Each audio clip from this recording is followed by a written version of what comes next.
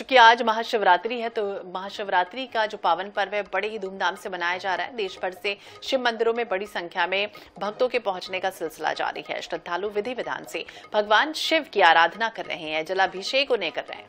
इस मौके पर उज्जैन के महाकाल मंदिर ओमकारेश्वर और रायसेन के भोजपुर मंदिर समेत प्रदेश के सभी शिवालयों में लाखों श्रद्धालु दर्शन के लिए पहुँच रहे उज्जैन की बात करें तो यहाँ लगातार 44 घंटे तक भगवान महाकाल के दर्शन होंगे। बाबा महाकाल मंदिर के पट गुरुवार रात दो बजकर तीस मिनट पर खुले, जो शनिवार रात दस बजकर तीस मिनट खुले रहेंगे। इस दौरान महाकाल का अलौकिक श्रृंगार और पंचामृत अभिषेक किया गया। इसके अलावा श्रद्धालुओं ने महाकाल की भस्म आरती के दर्शन कर आशीर्वाद भी प्राप्त किए। दावा किया जा रहा है कि महाशिवरात्रि पर करीब 12 लाख श्रद्धालुओं के यहाँ पहुँचने की संभावना है। तो महाशिवरात्रि का पावन पर्व और ये तस्वीरें देखिए, उज्जैन से सामने आई है जब भस्म आरती के साथ अलौकिक भव्य श्रृंगार किया गया। बाबा महाकाल का।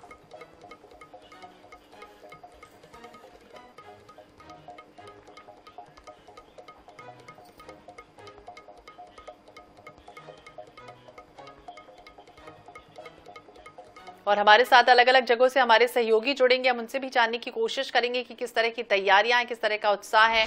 आज भक्तों में हमारे साथ पलारी से भी कुछ है, हमारे साथ गौरव शर्मा है, विशेष संवाददाता रायपुर से और हमारे साथ अलग अलग जगहों से हमारे सहयोगी जुड़ गए सबसे पहले रायपुर का रुख कर लेते हैं। गौरव हमारे साथ जुड़ गए हैं। गौरव, कौन से मंदिर में आप खड़े हैं? किस तरह की तैयारियाँ हैं? किस तरह का उत्साह है आज? निश्चित रूप से महादेव घाट मंदिर में मैं मौजूद हूँ और यहाँ पर उत्साह का वातावरण बना हुआ है, अभूतपूर्व उत्साह है। हटकेश्वर नाथ महादेव के दर्शन करने के लिए हज़ारों की संख्या में भक्त यहाँ पर पहुँचे हुए हैं और सुबह से ही यहाँ पर कतार लगी हुई, लंबी कतार आज देखने मिल रही। आमतौर पर सामान्य दिनों में भी यहाँ पर लंबी कतार लगी हुई होती है, हज़ारों की संख्या में भक्त पहुँचते हैं, लेकिन आज जो वातावरण बना हुआ है, अभूतपूर्व वातावरण है और लंबी कतार है, लगभग 500 मीटर तक की जो कतार है वो श्रद्धालुओं की वो नज़र आ रही है। बाबा हटकेश्वर नाथ महादेव का आज विशेष श्रृंगार किया गया, विशेष अभिषेक किया जा रहा है और लगातार यहाँ पर भक्त जो है वो कल मध्यरात्रि से ही दर्शन करने पहुँच रहे आज सुबह से भक्तों की जो भीड़ है वो काफ़ी बढ़ी। विशेष श्रृंगार के साथ साथ आज यहाँ पर झांकी भी तैयार की गई है। देखा जा सकता है भगवान भोलेनाथ के दर्शन करने के लिए कितना भक्तों में उत्साह जो है वो नज़र आ रहा है।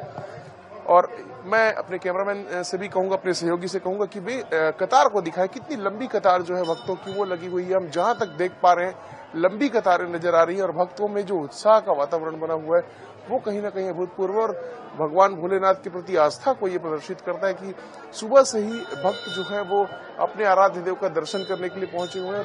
हटकेश्वर नाथ महादेव मंदिर की बात की जाए तो यहाँ पर विशेष झांकी भी तैयार की गई है। भगवान भोलेनाथ की जिसमें विवाह के प्रसंग को दर्शाने की कोशिश की गई और जो श्रृंगार है वो भी आज विशेष रूप से किया गया है। हटकेश्वर नाथ महादेव का मंदिर के बाहर भी एक विशेष झांकी जो है वो तैयार की गई। तो इस तरह से भक्तों के लिए महाशिवरात्रि का पर्व जो है वो यहाँ पर बेहद खास हो चला है और जो आस्था है उसके दर्शन यहाँ पर निश्चित रूप से होते हुए नज़र आ रहे हैं। जी। तो बिल्कुल श्रद्धालुओं की भीड़ जो है वो मंदिरों में देखने को मिल रही है। इसी बीच कवर्धा से हमारे संवाददाता संजय यादव भी हमारे साथ जुड़े हुए हैं। संजय, आपसे जानना चाहेंगे, इस वक्त आप कौन से मंदिर में उपस्थित है? कैसा माहौल है उस मंदिर में? भक्तों में कितना ज़्यादा उत्साह है और उस मंदिर की क्या क्या मान्यताएँ हैं?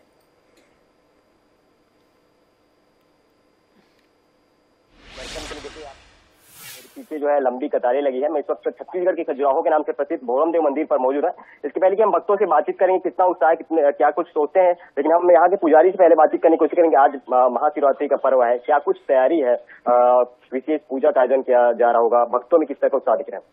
आज तो भगवान महादेव का सबसे पावन पर्व है और महाशिवरात्रि है। आज के दिन वैदिक मंत्रोच्चार के साथ भगवान महादेव जी का विवाह संपन्न हुआ था इसलिए आज के दिन श्रद्धालु बना करके विशेष उपासना और महाशिवरात्रि का व्रत करते हैं। और अपने अपने घरों में और देवालयों में जाकर के भगवान महादेव जी का जलाभिषेक अभिषेक रुद्राभिषेक पूजन इत्यादि करके भगवान महादेव जी को प्रसन्न करते हैं।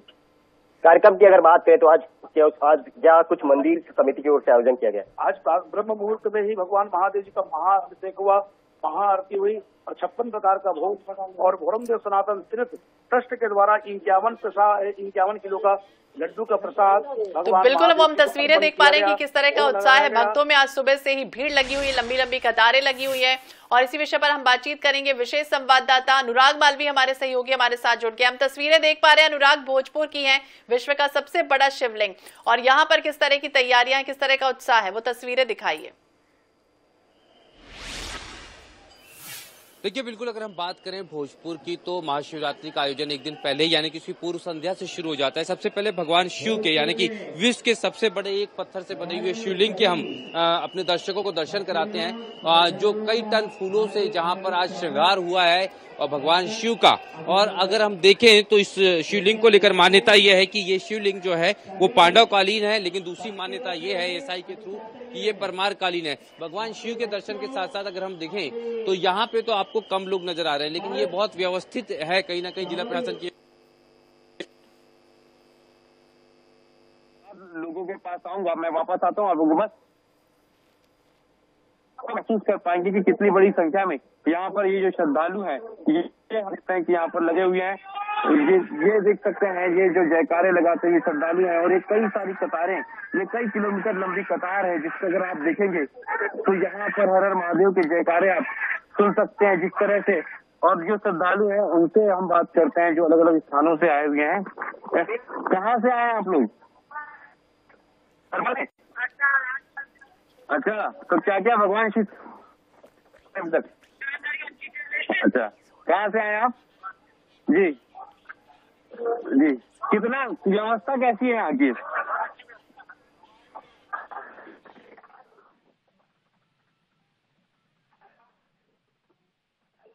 भगवान शिव दर्शन कराते हैं लेकिन यहाँ से जो है हम दर्शन कराते हैं, लेकिन ये देख सकते हैं श्रद्धालुओं को।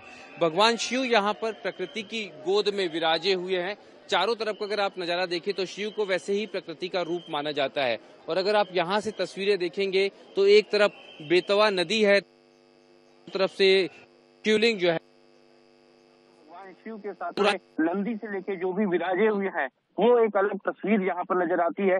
लेकिन अगर श्रद्धालुओं की बात करें तो आप एक बड़ा जमावड़ा देखेंगे। अगर ये बेतवा नदी का पुल यहाँ से लगभग जो एक किलोमीटर दूर है, वहाँ से यहाँ तक के कतारें आपको लगातार जो है नज़र आएगी श्रद्धालुओं की। और ऐसा ही नहीं है। श्रद्धालुओं की। और ऐसा ही नहीं है जो भक्त हैं, वो भक्तों की सेवा में भी लगे हुए हैं। शिव की सेवा के साथ साथ शिव भक्तों की सेवा हो रही है। बड़ी संख्या में भंडारे जो है, वो यहाँ पर लंगर लगाए गए हैं, भंडारे लगाए गए हैं। एक बार फिर